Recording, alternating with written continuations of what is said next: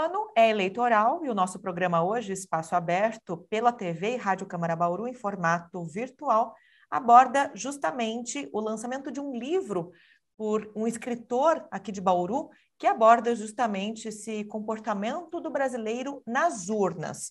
Rafael Moia Filho, ele é escritor, analista político, graduado em gestão pública e tem um blog falando um monte, onde ele é, discute, apresenta artigos de sua autoria e de colegas falando sobre economia, política e questões sociais. Autor desse trabalho e conversa com a gente aqui no programa hoje. Obrigada por ter aceito o convite para esse bate-papo. Rafael, seja bem-vindo.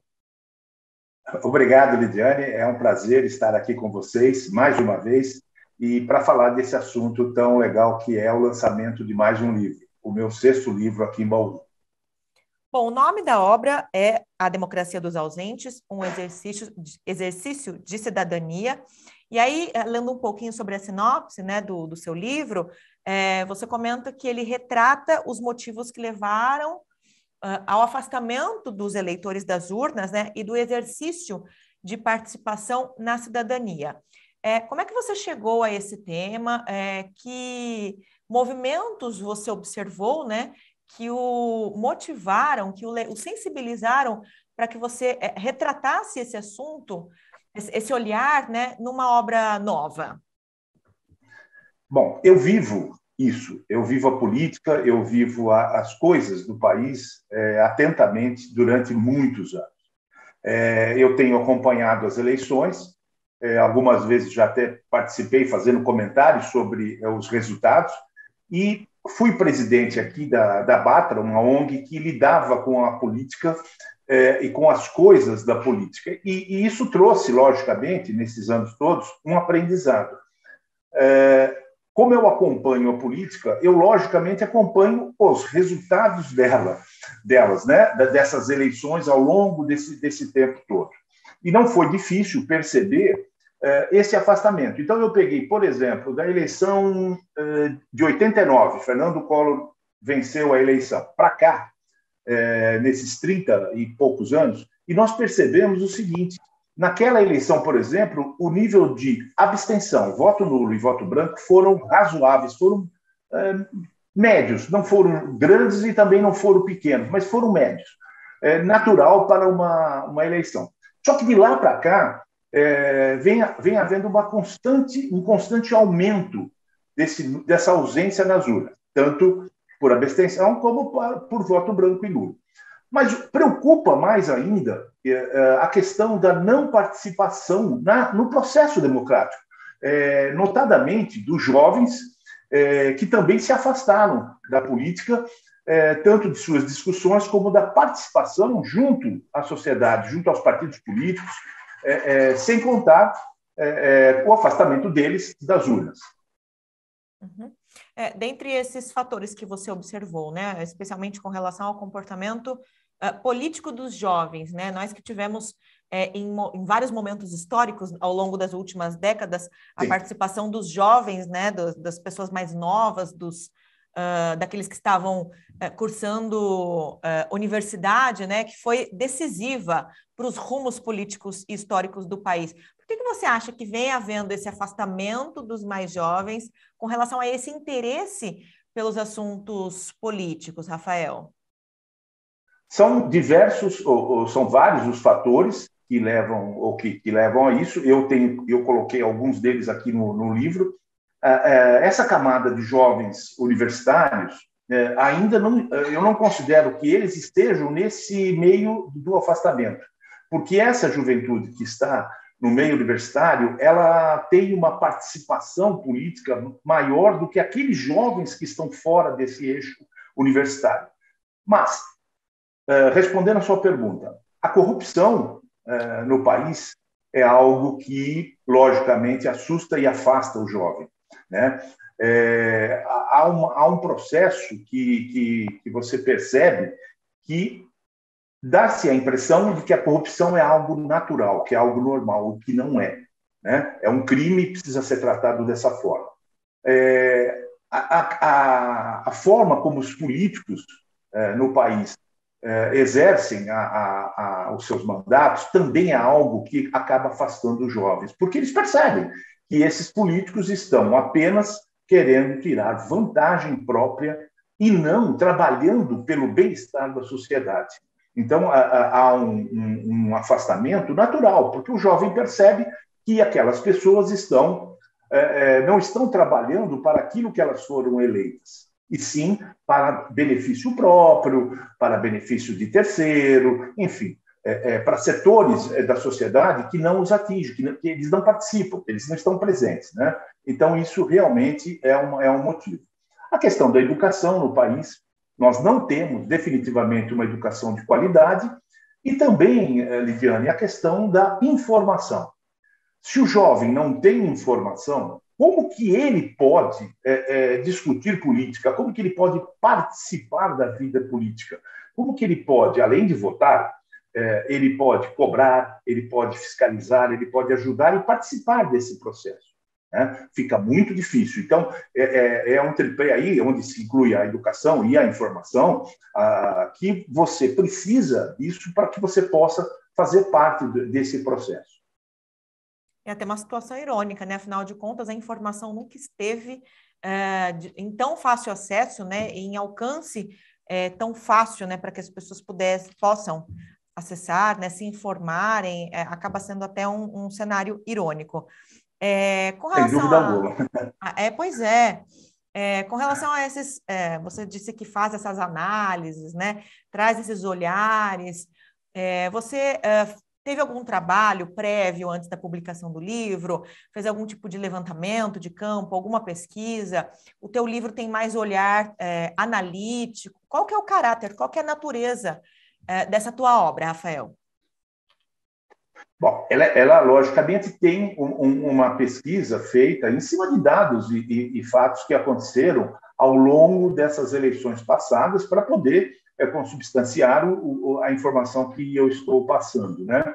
Além do fato de, de que é, eu venho é, lendo é, muito nos últimos anos, é, mesmo também porque já escrevi alguns livros é, publicados, como, por exemplo, de Sarney Temer, onde eu fiz uma pesquisa vasta no período de 33 anos entre é, o fim da, da, ditadura militar e o, o, começo do processo de redemocratização do país, até o, o governo Michel Temer. Depois fiz um novo livro, quer dizer, complementando esse processo, e agora esse aqui. Então, é, é, esse período me trouxe, e essa pesquisa e esses dados me trouxeram aí o, o, as informações suficientes para que eu pudesse estar uh, colocando nesse livro. Né? Eu volto a te dizer que o período que eu fiquei na Batra e, e o período que eu estive como comentarista é, na, na, em rádios aqui de Bauru me, me facilitaram muito também esse processo.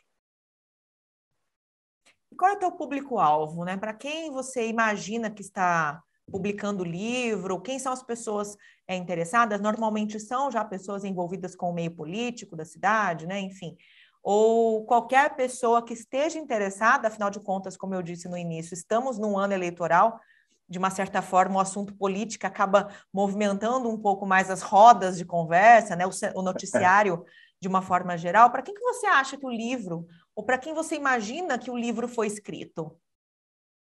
Olha, é, na verdade, para qualquer brasileiro acima de 16 anos, eleitor, é, que esteja preocupado é, com os destinos da nação, com os destinos da sua cidade, do seu estado, e que queira, se não conhece, conhecer um pouco da, da, da, do processo eleitoral, do sistema eleitoral vigente. A maioria das pessoas, Lidiane, desconhece como que você elege um vereador como que você elege um deputado estadual e federal, que é o sistema é, é, separado que nós temos o sistema majoritário para presidente, governador e prefeito e o sistema proporcional. Esse sistema proporcional é importantíssimo porque ele nos ajuda e através dele nós elegemos vereadores. Por exemplo, aqui na nossa cidade. Aí o que, que acontece? Como as pessoas desconhecem a, a, a sua sistemática, elas votam achando que aquele candidato que ela está votando, que tiver uma, ou aquele que tiver o maior número de votos, estará eleito. E não é isso. Tem um mecanismo para poder chegar a isso. Então, muitas vezes a pessoa, depois da eleição, fala: Nossa, a Lidiane teve 5 mil votos e não foi eleita. Por quê? e o outro candidato teve 1.200 e se elegeu. Então, é, é isso também que eu explico no livro em detalhes, é, dando exemplos, para que a pessoa que leia possa entender todo esse mecanismo é, do sistema eleitoral brasileiro, que infelizmente não está nas salas de aula. Então, o livro ele, ele tem esse caráter de realmente trazer informação, mostrar às pessoas como que tudo isso funciona, o porquê do afastamento e quais as consequências desse nosso afastamento da vida política. É uma natureza didática também. Agora, com relação ao conteúdo, esse retrato que você traz, é, com relação desse movimento aí que você observou ao longo dos últimos anos, né, até respaldado em dados, inclusive, Rafael, ele, ele mostra um pouco, é, é um retrato que mostra um pouco do cenário nacional, ou você traz também compiladas algumas situações aqui referentes especificamente a Bauru? Como é que você escolheu é, o cenário para o teu livro? Ele, ele, ele, ele fala sobre o cenário nacional, porém, eu, eu também coloco é, exemplos concretos do que aconteceu aqui em Bauru, por exemplo, em 2020, que é uma coisa muito fresca, muito próxima da, da, da, da nossa vida, né? porque uh, aconteceu há dois anos atrás, menos do que isso. Então, eu, eu coloco o exemplo do que nós tivemos aqui em Bauru, que, na verdade, Lidiane, não foge daquilo que está acontecendo no cenário nacional. Infelizmente, se nós pegarmos as eleições para, governadores, a eleição para presidente e a eleição para prefeito, com raríssimas exceções, nós vamos verificar que o processo é o mesmo. O afastamento é o mesmo e, eh, nas urnas, a, a, o nível de abstenção, o nível de, de, de voto branco e nulo, só para você ter uma ideia, eh, ultimamente, na última eleição, nós tivemos 40 milhões de ausentes é, entre branco, nulo e abstenção. Isso significa que é uma população maior do que a do Canadá. É impossível, não podemos continuar com isso. Por quê? Interfere no resultado, favorece os maus partidos, favorece os maus candidatos e ajuda, de certa forma, indiretamente, a corrupção. As pessoas pensam que se ausentando, ela, ah, eu não tenho nada a ver com isso. Lei do engano. Você não deixa de olhar sua conta bancária por quatro anos. Logo, você não pode deixar que os políticos fiquem quatro anos exercendo um mandato sem que você fiscalize, sem que você cobre as ações. Esses assuntos todos você também aborda no seu blog, falando um monte, Rafael. Qual é a característica do seu trabalho ali, das publicações que você faz aí nesse espaço? Olha, o, o Falando Monte, ele já está, ele está completando, completou 13 anos, né? E tem um milhão e meio, quase um milhão e meio de acessos ao longo desses anos. E ele tem ali artigos sobre política, sobre economia, sobre coisas que estão acontecendo no, no Brasil, é, coisas muito atuais, né? Então, se você for ler, você vai perceber que ele, ele traz ali artigos que falam de assuntos que estão ali relacionados com o dia a dia, com o cotidiano nosso, quer dizer, que estão acontecendo eh, e, às vezes, também, na sua grande maioria, levando informação. Né? Muitas vezes você tem alguns assuntos que são discutidos na grande mídia e que as pessoas não, não sabem por que, que estão discutindo isso, o que, que significa, o que, que é essa palavra, por que, que estão usando isso. Então, eh, eh, esses artigos ajudam as pessoas a compreender um pouco do que está acontecendo, não somente no caso da política. Mas no caso da economia, por exemplo, um artigo sobre a questão do preço dos combustíveis. Por que, que está tão caro? O que, que interfere? O que, que não interfere? Então, o blog traz esses artigos que ajudam as pessoas a compreender esse mundo que nós estamos vivendo. Com a finalidade de esclarecimento, inclusive, né, Rafael? Sem dúvida, sem dúvida alguma.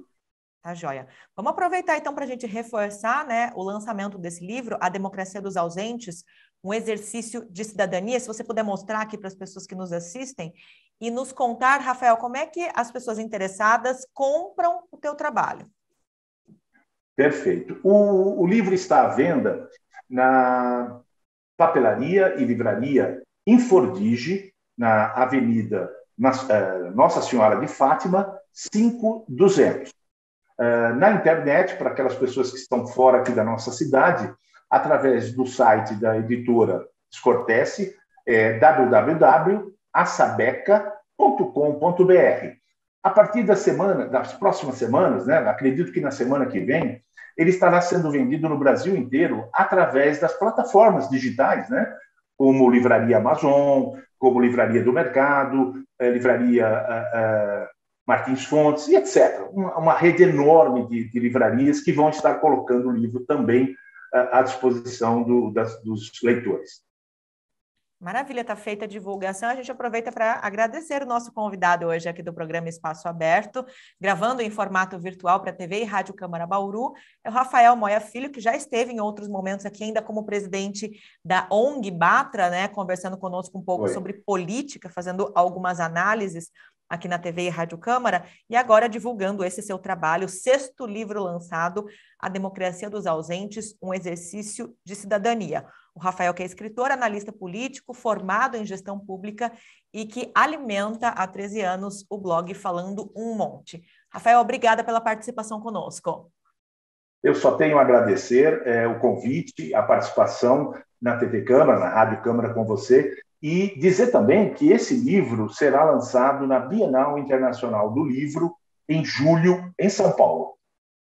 Muito obrigado. Está na nossa agenda. Obrigada, Rafael. Um abraço. Obrigada pela participação e nós agradecemos você também que nos acompanhou até agora pela TV e Rádio Câmara Bauru. Nós lembramos que este material, este programa, fica disponível na íntegra para você acessar pelo nosso canal no YouTube. Procure TV Câmara Bauru. Até a próxima!